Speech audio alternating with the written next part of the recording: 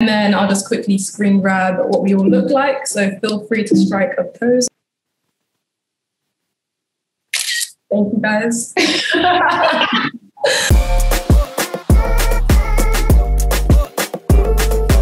Hi guys, welcome back to my channel. In case it's your first time here, my name is Ejatu Shaw and I'm a London-based photographer.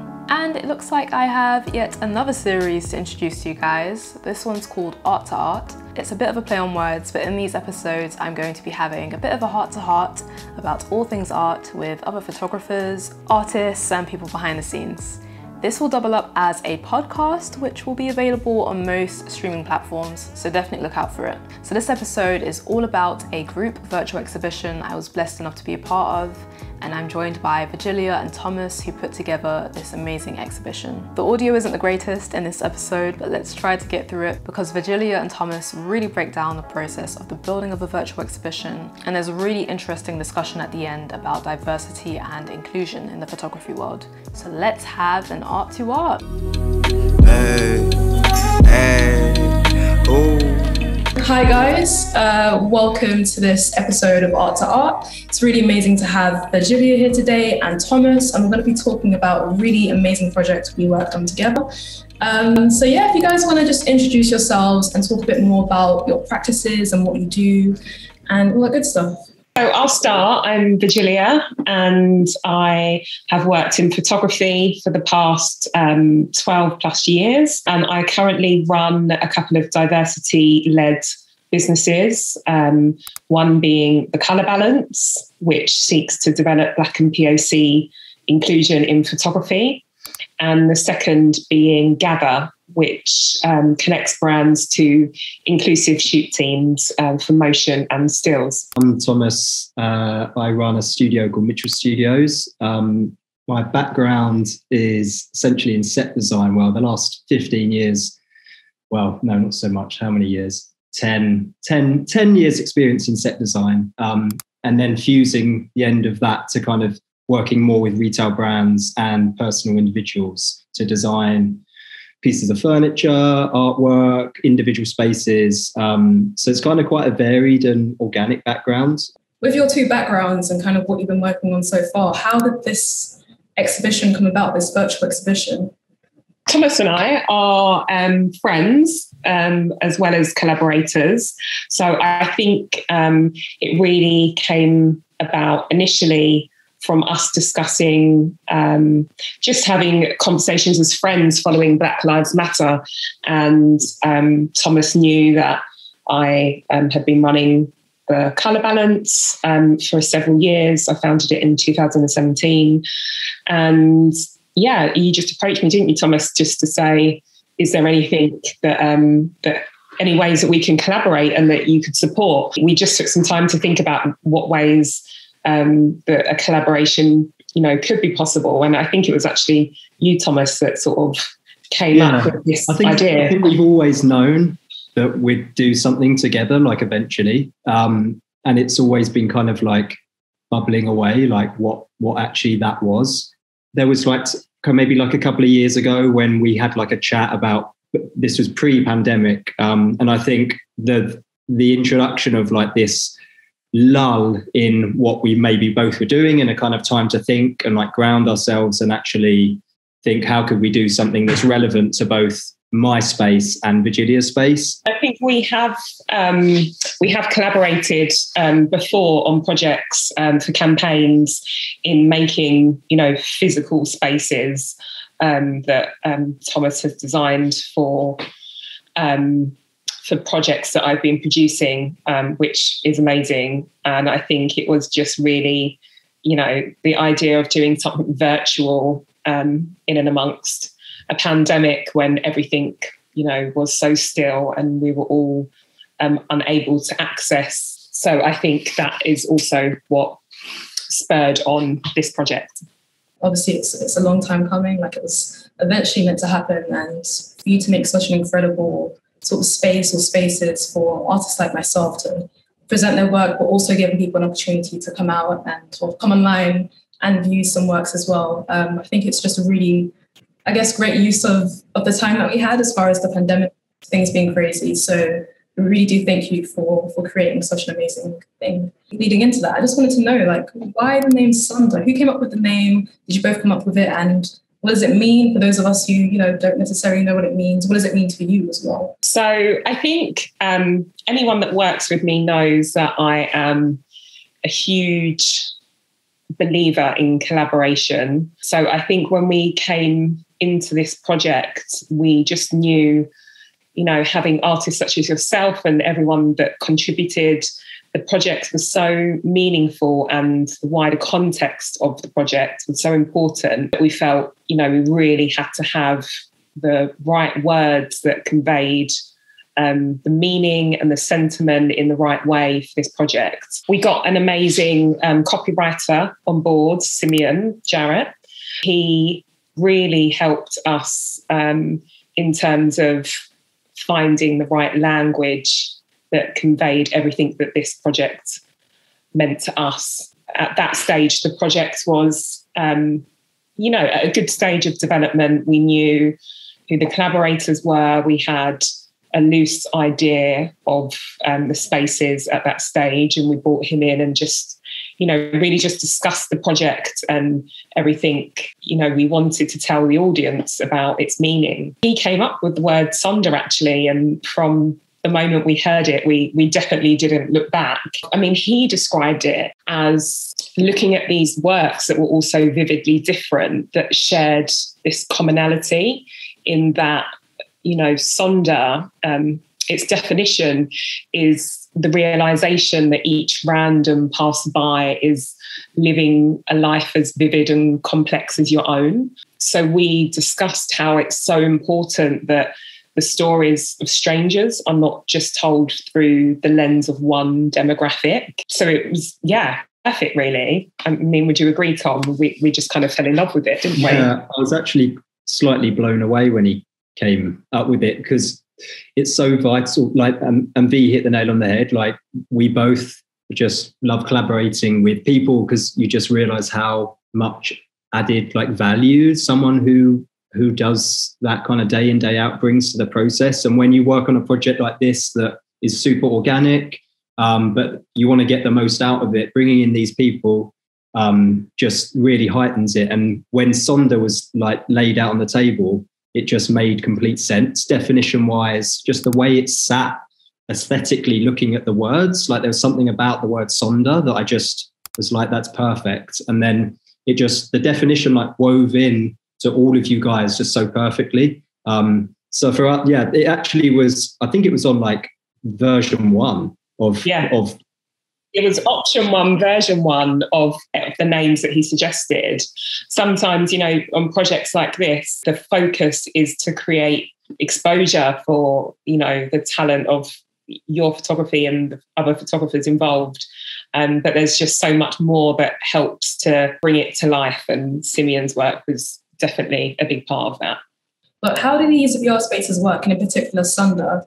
obviously, do you use a phone? Do you use a computer? Do you need to wear goggles as we usually see on TV and things like that? So, how does it work? So, VR has had a moment for quite a while. It's definitely not something that's like incredibly new, but the way that I like to think about it, and I think we approached it, is it's the way that we use like VR to create accessibility, number one, the ability to access something globally that is not limitless because obviously not everyone has access to tech, but a lot of the world has access to tech. So looking in the constraints of that, it's something that no matter of your disabilities or anything of getting out the house or or visiting these places in different countries when you have galleries and private views and amazing shows you want to go to. The going back to the accessibility again, it's kind of you can access this space through VR goggles, but the underlying thing for me for that was not everyone has well i don't have a vr goggles. It's very hard to get your hands on a good set of vr goggles to actually experience the space properly.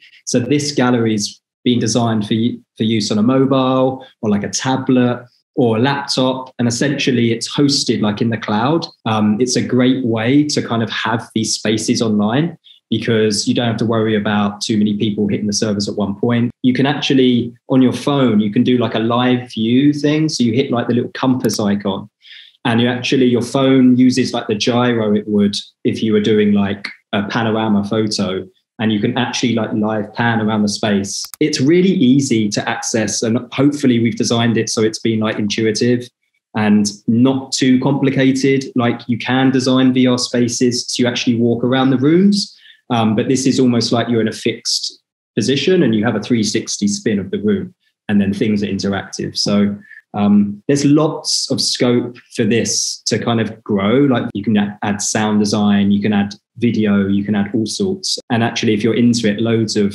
brands throughout the pandemic have done kind of really cool things. It's definitely like not a new space. It's almost being reinterpreted really nicely now. Just I think because of the pandemic and because of like 3D design is like really, really a good place right now. It's just limitless in terms of what you can do with it. So even as far as me producing really large scale images, cost wise in real life, that would be kind of tricky. I think I need a really big budget. So in terms of us having multiple spaces, each artist had an individual space they could use, which was really incredible. So it just provided like an amazing opportunity to really you know, curate the kind of space we wanted for our images and to really think about the scale we wanted. We weren't limited at all by anything really. Just the fact that we couldn't really there in real life, but it felt like that was the case. So that was really nice. Yeah, that's a really good point. I think as a creative that you can design a space that is essentially can be anything or feel like anything and touch on from people's emotions. Like it's really hard to in physical spaces. Um, and especially like you even touched on, it's like from budget point of view, it's like you can make these spaces from a sustainability point of view. You don't have to actually use resources. So it's like, yeah, it has incredible amount of facets. Um, it would be really interesting to hear actually about both of your approaches in terms of your discussions with each artist, each individual artist that was involved in this exhibition, like how the images influence the rooms and how the rooms influence like the final image selection and so on. Just in terms of bringing together the contributing artists they were all from the Colour Balance Network. Before the Colour Balance grew, I really used to invest time in um, meeting photographers one on one and giving advice and support offline. As it has grown, um, I do that on a much larger scale. So a lot of the one on one time isn't as possible. Um, but I think everyone, yeah, that contributed, I had met through those channels, including yourself. that I'd had a chance to meet you all and really t- have time to look through your work and sort of understand your sort of ambitions and drives. And everyone involved when I met you all, so yourself, Jatu Shaw, um, Khalil Musa, and Serena Brown, and Jack Lawson, I just knew I had the desire to make some creative, you know, collaboration possible. Um, so I had you all sort of earmarked from when we first met. And I think you and I first met a few years ago. So, you know, it takes time for these sort of connections to come to fruition. When Thomas and I first discussed them, he was like, I love all of their work. They're all so individually great. We quite quickly discussed with each of you that you would want to showcase and my introductions led into Thomas's creating. So yeah, just following on from the, I mean, we landed on you guys really early and purely just like the stories behind the images as well as like the imagery themselves. I think that was really key for like my point of view. It's like you can see if there's like a real story and a meaning in a picture. And when for me, when you're designing like a space, it's really like touching on what it is to actually be maybe there when you're experiencing those things. So for me, it was like how how does this process help you guys and us in the future if we work together actually create like a real space? So it's like going through the motions in terms of what imagery works well together. How do you want to frame your pictures? What's the context in which we're we're positioning them? Like what's the aesthetic of the room? What are the materials we're using? What are the colors like what do we want to feel when we're there? Like and definitely sound design help that. Um, so I, from a broader sense in terms of each person there was a very like similar like undertone into the creative like direction of how we approached each person but there was definitely very individual things. So jack's space was actually the first one that i designed. His imagery is all shot basically on the coast in um, lagos I wanted the room to feel like this space had almost like popped up on the beach. Um, and you could almost see and feel the background of his images around you in the space. So it was just like being really simple with like color choices and textures and the sound design was really super minimal, but just like kind of lapping waves. Um, and when you experience these spaces with like headphones, um, which I recommend you do if you uh, if you sit down and look at it with your computer or your phone, you can really like feel like you're immersed in the space and like your where Jack was when he was taking the images. And Serena, hers was actually probably one of not the hardest spaces, but I think because it's so close to home, her narrative really touched on what we were all going through, um, the class of COVID. So I kind of like found it um, really quite an amazing process to, for me to go through as a designer to like put myself in the shoes of students who have been taken away that kind of moment in their life that is actually quite it's quite a kind of pinnacle pillar for when you when you leave school that I think one of the um, subjects of the photos actually described it as like the lasts, like these lasts moment that you you won't ever go through because they've kind of been stripped away from you by COVID. The last bus journey to your school, or the last time you have lunch with your mates. Um, and her pictures really kind of captured those emotions. So I kind of wanted to create um, with Serena this space that felt a bit more penned in, like how we were all feeling and how they were feeling, a bit more kind of not so open. Like the lighting was much lower, the colors were a bit deeper and richer, um, and the red kind of touched on these. Red is quite an amazing color for like bringing out lots of emotions in terms of like it can be negative, but it can be positive, and it has this kind of quite moody feeling. Um, so, so when we were chatting with Serena to go through hers, there was kind of like that process of how do we how do we make it feel like that? But again, the kind of similar undertones of what we went through, it was really working with Serena to kind of like which imagery goes best with which to tell the story. And she was actually one of the only artists who had um, text and commentary to go with each picture, which kind of really made sense because of like how the it was a story. It was almost like a storybook. Hers, like it was really like individual stories from these people.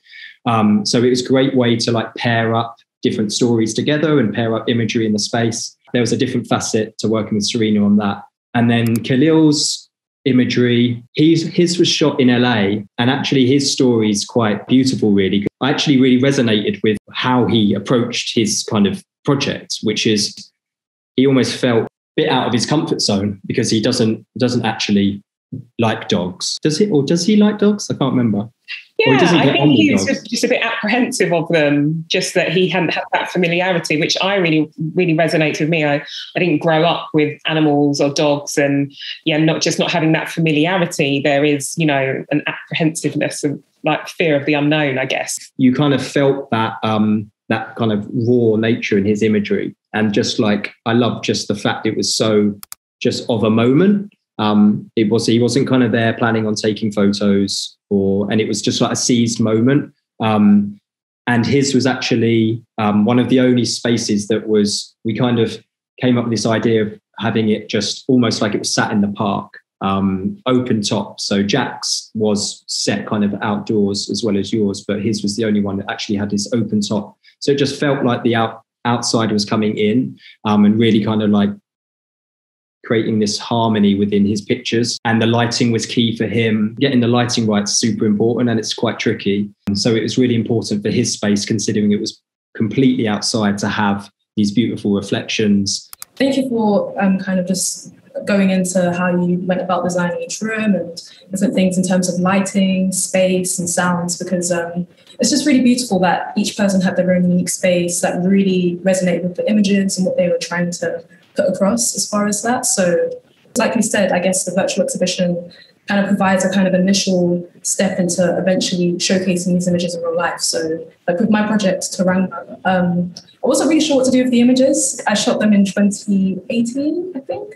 So quite a long time ago now. And I didn't know what to do with them. I just knew how they made me feel and how I felt at the time of taking them. So they were taken in Senegal um, whilst I was on a trip there of individuals that I met whilst I was on the beach and chilling and hanging out. So I didn't really know what to do with the images. They were very personal to me, but having this opportunity to put them into a, more of an art space um, was really beautiful for me. Working with you was really amazing because you had such a great briefing document for me and such great inspiration in terms of direction, of ideas that you had in terms of one, the images you wanted to use, but also you had really good direction in like the materials and the textures and the patterns that you wanted me to start thinking about. Um, and for me, like that that whole process was super super fun and collaborative to work with you to kind of see what you were thinking about, but relate that to like a physical space and like how can we be clever with like shapes of the patterns you liked and because my style's quite um quite kind of minimal quite um pared back so it was almost fusing exactly what you wanted to do with something that I sort of thought the aesthetic would work really well with your images. So there was so much to go on with yours because you had such a beautiful color palette. The materials and textures that you referenced were really wonderful. Um, and I think just the meaning behind the collection of images, and I don't know if you wanted to, did you want to go into the Teranga? Yeah, um, explain what Teranga means. So it's a term in Wolof, um, which is you know, a language spoken in Senegal and many other places in West of Africa.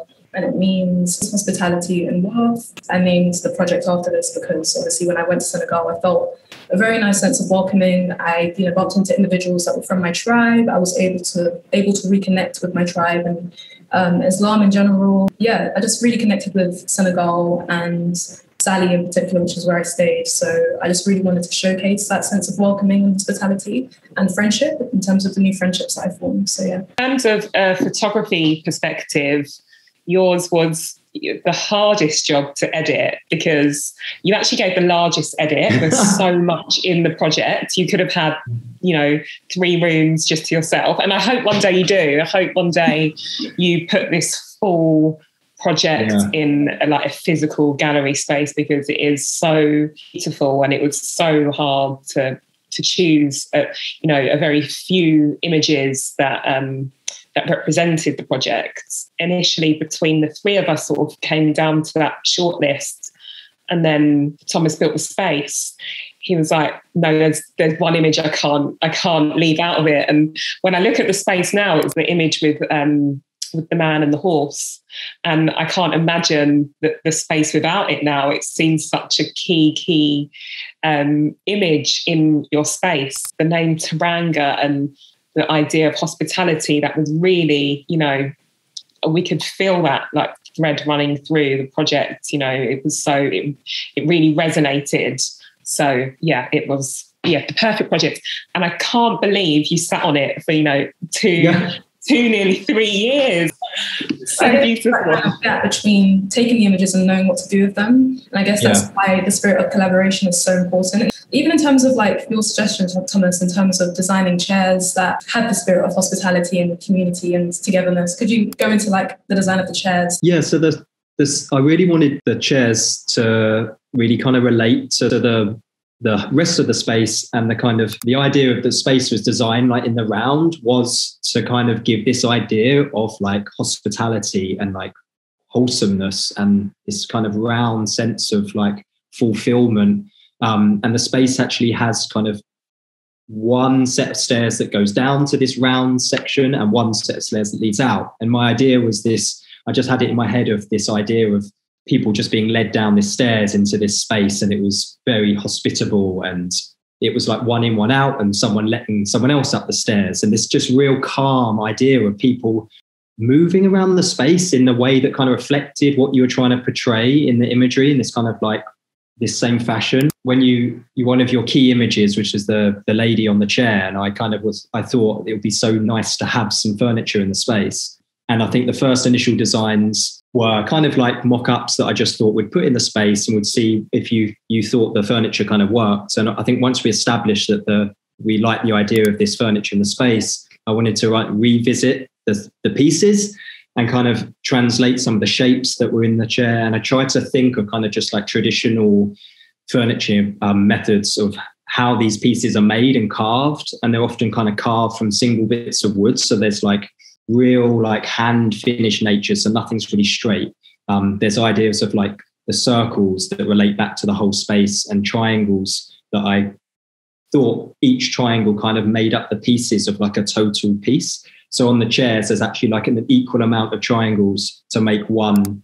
Um, there's like four or five, I can't remember how many sections of the pie, so to speak, that make up this one wholesome unit. And that was kind of the idea of bringing the chair into the space and this idea of hospitality and kind of coming together.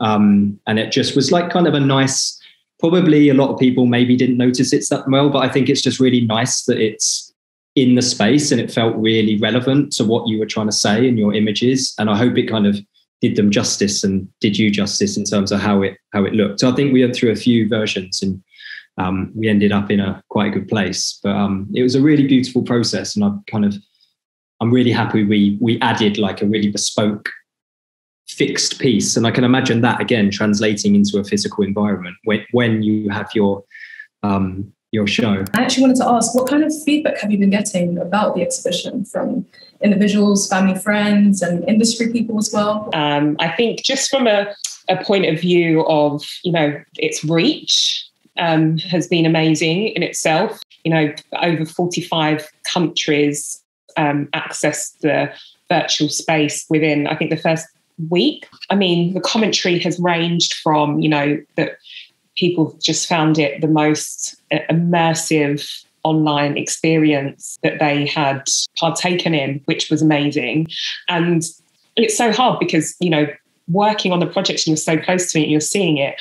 And I was literally like, this is the best thing I have ever seen online. And, you know, you feel that way because, you know, I, I love the work of, of all of the contributors. I love Thomas's design and his style. Everything that we were discussing was important about the project. And to hear other people you know feel the same it resonate as strongly to somebody that's experiencing work in the spaces for the very first time was it actually brought tears to my eyes. I'm not going to lie, it really is the most special project I have ever worked on. And yeah, we had uh, you know a few press outlets pick up on the work on the work, so that obviously gave it you know more exposure, which is you know a big goal of the project is to create exposure of Black and POC talent in photography. I think what was actually really amazing is hearing the feedback from people in and out of the industry, you know, ad world, editorial world, and even especially people that aren't, you know, very tech savvy. Like I'm thinking of my own family and how they experienced it and they were able to navigate the spaces and enjoy them and yeah, I think we couldn't have asked for more in terms of response. I think V's right. You spend like so long with your head buried in a project. Sometimes when it comes to the end of it, you're left feeling like, are you the only ones that think this is like good?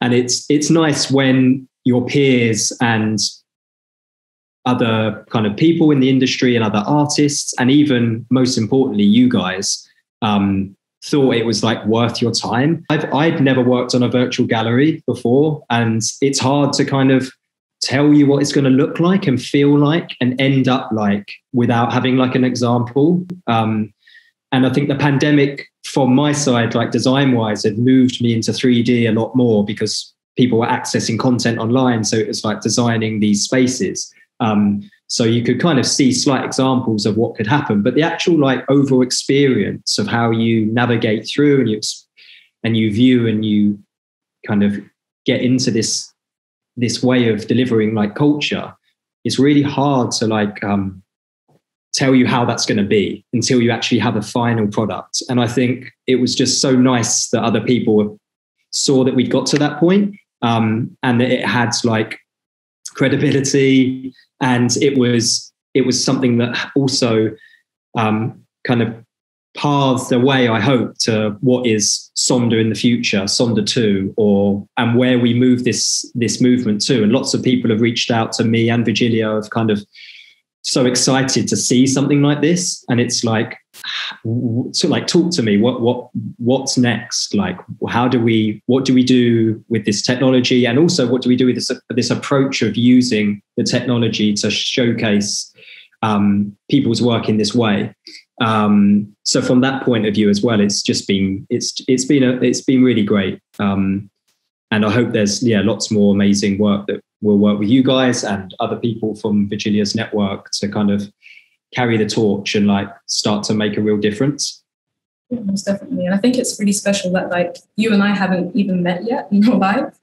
Um, so the very fact that we could create something like this and just you could you've really got to know me and my work and everyone else's work as well without having met us is just incredible. So I guess in the spirit of pandemic and you know distance yeah. and stuff like that, the fact that we could pull this off is incredible. So yeah, the execution was amazing, honestly. That's actually blown my mind. I hadn't actually thought of that in that way that you guys yeah. have never even met and we've created such a beautiful experience. It is crazy. Yeah. That that is that is crazy. But like Jatu said, it is that is so like in the spirit of the moment. It's yeah, maybe you get more done when you don't meet up. but not saying I don't want to meet up. I definitely want to meet up. But it's like it just felt like a real nice motion, the whole project. Um, and everyone really put put a lot of hard work into it from all all sides. So there's lots of people to thank. In terms of the artists featured, obviously we're all um, people of color or black people. What more can the industry do to kind of ensure that these voices and stories are heard because you know just being given that opportunity was enough to, for me to kind of showcase these images in the first place so what more can the industry do i think you've really um, used the right word there which is opportunity and i think it's people being aware of the barriers to access for many people to the industry and creating opportunities for inclusion. Uh, I think a big point that we haven't really touched on um, so far is that widely Black and POC people are excluded from um, the majority of art spaces just from the nature of, you know, structural racism, um, bias in the industry, um, a lot of nepotism and elitism, and the way that all of these um, these factors intersect and really create these limiting factors to representation and inclusion. So I think a big part of this project was finding an opportunity to use um, Thomas's skills and the skills of Mitchell Studios and um, network and create something that you are all emerging talent as well. You're all really exciting names in British photography. And I think it's about creating opportunities that might not have existed you know it would have taken you know a lot of money to create this you know in real life so it's like how can we circumvent that how can we go around and produce this creative beautiful space uh, with the tools that we have and you know Thomas, Thomas and I um, speak a lot about allyship and how people can really use their skills and their platforms to create these opportunities. And I think Sonder is an amazing example of, you know, what can be done and what can be achieved. And, you know, a lot of people gave a lot of time to get this project off the ground. It, it wasn't just something that fell together.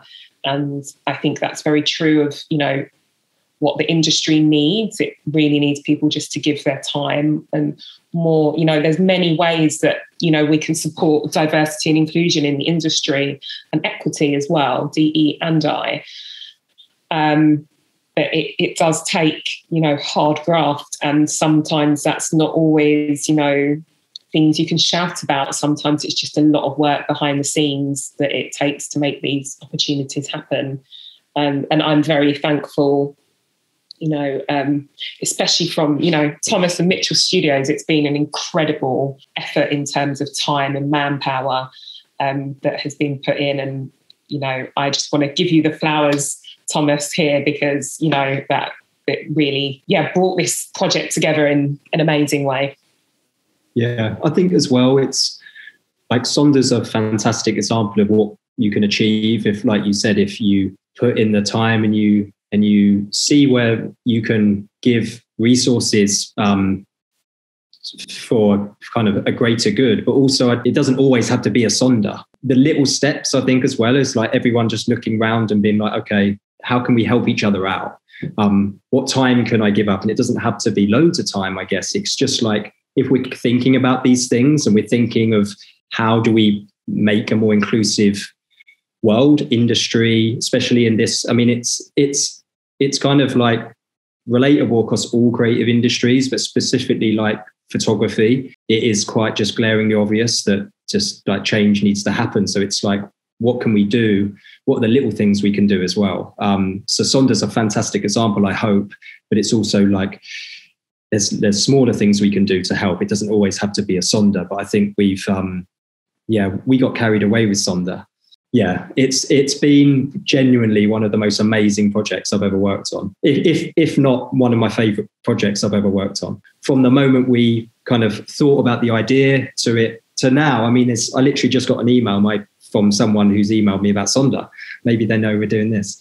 Um, it's still happening. Um, and there's yeah, hopefully we'll get more press and we'll do something else. Um, and we'll really keep like the bus moving along and like showcase work that people need to see and artists that need to be given that opportunity it's because it's it just has to happen. So yeah. The photography industry has been held back so much in terms of uh, diversifying and we're at this point where you know after 2020 it's shone a light on so many of the reasons why we need a more equitable creative industry. And photography industry. And I think it would be, I think Sonder is also a great comment on where, where and how are we going to ensure that the same problems don't reinvent themselves in you know the virtual space in metaverse and you know there's been a lot discussed about you know who codes and how they're creating you know these worlds and you know most coders and most people that are creating these spaces are from a very narrow demographic and narrow pool. So it's like, how are we going to ensure that we create diversity and inclusion from a very early stage in these virtual spaces? And so Sonder is also, you know, a big commentary on that. That's really that's a point. And in general, just behind the scenes, as far as the industry is concerned, like as you said, in terms of coders for the, the virtual side of things, but also in real life, who is on set for shoots and who's been given the opportunity to be there and who isn't. All of it goes hand in hand, and even like with the Colour Balance and, and what you're doing, as far as like lighting workshops and things like that, that wouldn't necessarily be information that's easily accessible as far as like um, industry wide knowledge. It's just really amazing to have these spaces and, and things that you're currently doing that kind of help young photographers, budding photographers like myself to just really I guess, place themselves in the industry, but also you're creating new places and spaces for them to, to do their own thing and to just shine just as well. So I think that's really beautiful. Yeah. Yeah, yeah. that is very important to me. And I feel as though it's, um, Gather has been an evolution of that, my creative production company, in, you know, really helping brands connect from a commercial perspective. Um, thank you so much to Virgilia and Thomas for joining us today and speaking more about Sonder, how it came about, and about the artists involved, and about just everything industry and what more the industry can do. It's been really incredible speaking to you both. Uh, is there anything you'd like to just shout out about yourself? Is there, is there anything coming up that you'd like to mention before we sign out? As if anyone's watching this and, and more interested when V said about the coding and everything, it did remind me. Um, people ask like, how did the spaces get created? So if there's anyone watching it and is like has a friend who's like a 3D designer or someone who's like, how did you do it?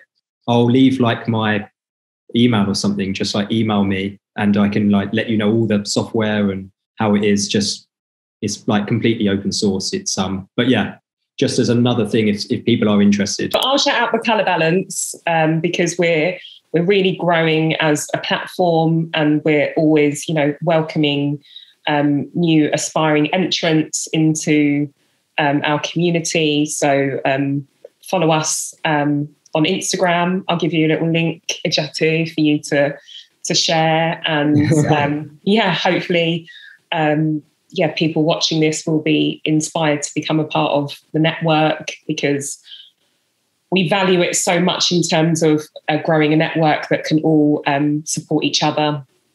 Um, so that's really key for us. And likewise, I'm using the Colour Balance to fuel um, my new work, my new enterprise gather. Um, so a lot of the, the talent that I um, and coming across or have met through the Colour Balance, I'm now getting a chance to work with um, through Gather, which um, looks at inclusivity on um, a wider scale. So, as well as Black and POC inclusion, we look at um, inclusion of um, the LGBTQIA plus community and also um, women and other underrepresented groups. So yeah, give a little shout out to the Colour Balance and Gather. In terms of onboarding the photographers, I just can't thank everyone for you know making this project as special as it has become because that is first and foremost led by the spectacular photography that we included. So yourself, Ejatu Shaw, um, Jack Lawson, Serena Brown, and Khalil Musa, they really um, made this project, you know, more than we could have hoped just by coming on board. So we're very, very thankful. Amazing. Thank you so much um, for joining me, guys. I really do appreciate this. And everyone that's watching, if you'd like to obviously find out more about these projects, then I will link them down below. And yeah, do reach out to Virgilia and Thomas as well if you have any questions. Obviously, follow Colour Balance, follow Gather as well. And yeah, follow uh, Thomas Mitchell as well, Mitchell Studios. Uh, it's been really great speaking to you guys. And if you have a great rest of the day. Well, it's been amazing to talk it yeah. all through. So good. Thank you so much as well. It's like a lot of effort from your side. You seem to be absolutely hustling so um, it's yeah, it's thank you, Jatu. Cool. Thank you so much, and we'll speak soon. Bye. Thank you. Yeah. hey.